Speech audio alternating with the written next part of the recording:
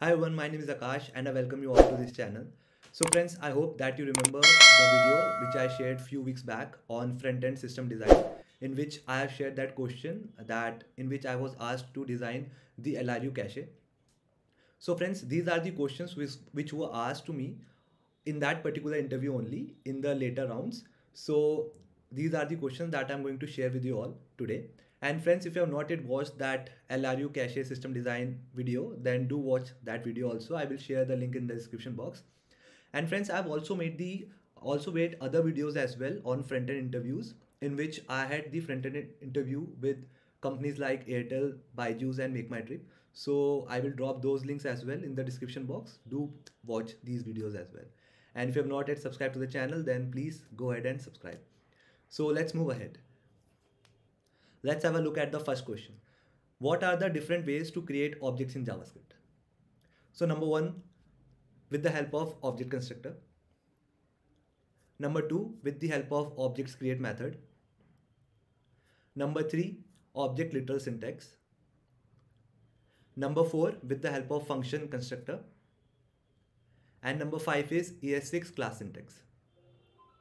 So the next question that I have is, what is the difference between call, apply and bind? So how you can answer this question is that call, apply and bind are used for method borrowing and call simply invokes the function with the given context value. Uh, let's suppose the given this, um, like let's suppose what the this should be pointing to. So the given object or the given context you can say with the arguments provided one by one. You can also show the example as well. For apply what you can say that it also invokes the given function with the given this value or the given context and in this the arguments are passed as an array. For example, for the bind what you can say is bind simply returns us a new function and that new function can be uh, we can pass the arguments to that new function. Let's have a look at another question. So this question was what is the difference between slice and splice? So how we can answer this is like slice it does not mutate it does not mutate the original array but splice it mutates the original array okay? Slice what it does is it simply returns us the subset okay? Subset uh, that is the selected portion of the array. And what splice does is it it provides us the deleted element okay? Slice is used to pick the elements from the array whereas splice is used to perform the operation like insert or delete on the array so friends the next question that i have is what do you understand by prototype chaining? So how you can answer this is that prototype chaining is basically used to build new objects on the basis of existing ones. And you can also do some coding. Like you can tell the interviewer like you can simply create an object like this.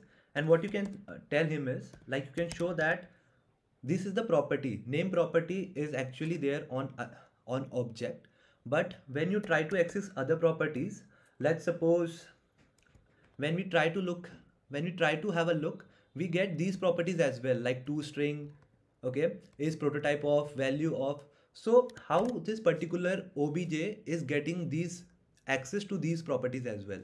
So the prototype property is like the this particular object has access to the prototype property with the help of this underscore underscore proto object okay? And you can console it also. So this is the proto object and all those value of two toString are available inside this underscore underscore proto okay? You can also show like in case of constructors like array this property can be accessible using prototype. So when we console it log it so these are the values like concat push fill filters these are available inside this array constructor using this prototype keyword. Cool. You can also show like when we do this object dot underscore underscore proto and when we do object this constructor dot prototype. And what you will notice is this this particular object and this particular object are similar. Cool.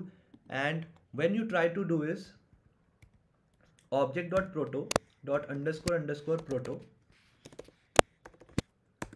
It gives you null. Okay so what you can do is you can try to like you can try to do some coding and you can try to explain your answer to the interviewer. Okay like when you do object dot underscore underscore proto you get this particular object and when you try to find the prototype property of this particular object you get null. So you can make the interviewer understand in this particular way. Okay and and yes you can also say that prototypal chaining means to make to build new objects on the basis of existing ones so friends the another question was what is first class function in javascript so every function in javascript is first class function which means that we can pass the function as argument in another function the function can be returned from another function and the function can also be assigned to a variable.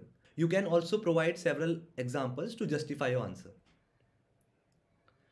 So friends, another question was, what do you mean by higher order functions? So higher order functions means it is simply a function that take another function as an argument and returns back the function by simply performing some operations or modifying it. Uh, we, as you all know, in React also we have higher order component, HOC.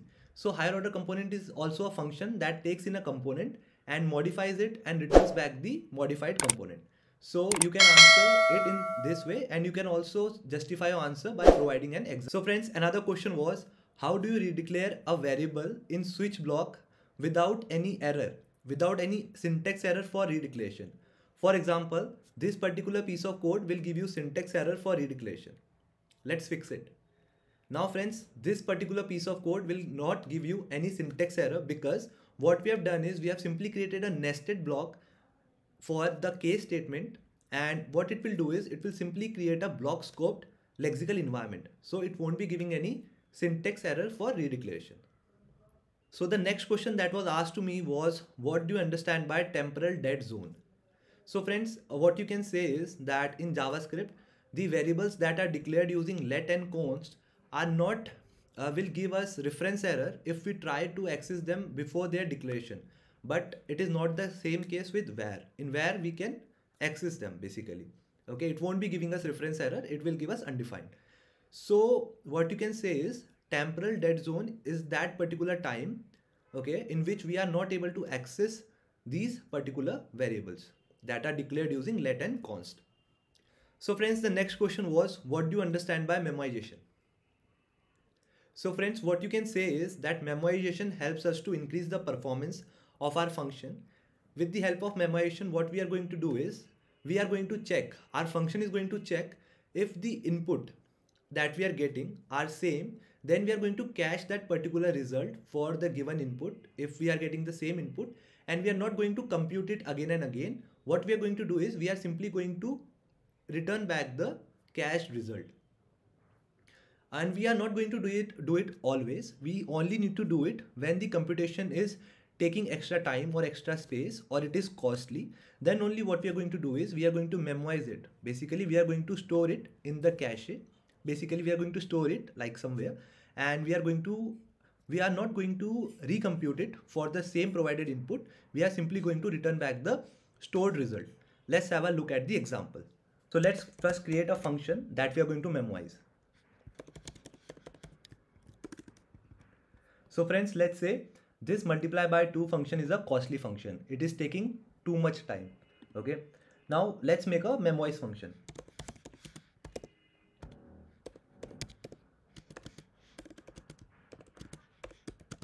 So friends, our memoize function will have a cache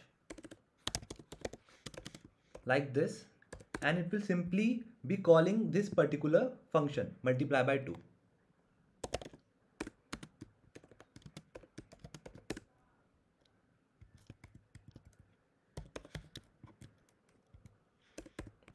So friends, memoize function will check basically that this particular num number that we have to multiply by 2 if this particular input is same or not to the previous one.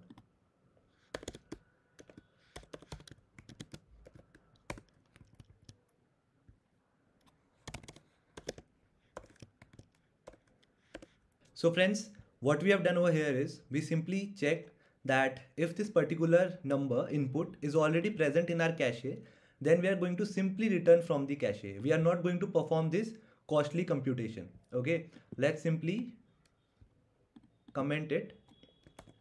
And else if it is already present okay? So if it is already present we are going to simply return it from cache. But if it is not present then what we are going to do? Then we are going to compute it and then we are going to uh, basically return back that particular computation so let's have a look if it works or not